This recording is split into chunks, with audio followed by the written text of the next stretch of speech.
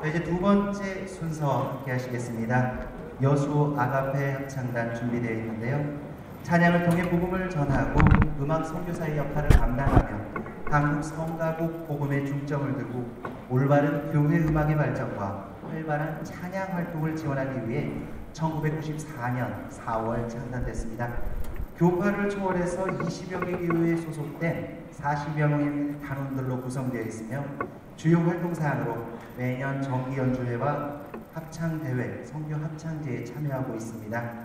찬양 활동으로 기독교 문화 사역의 일부로 찬양 사역을 함께 감당하고 있습니다. 여수 아가페 합창단은 박철성 지휘자와 김자희 반주자가 함께합니다. 부르실 공명은 주님께만 영광, 야베스의 기도 두 곡입니다. 큰 박수로 맞아주시기 바랍니다.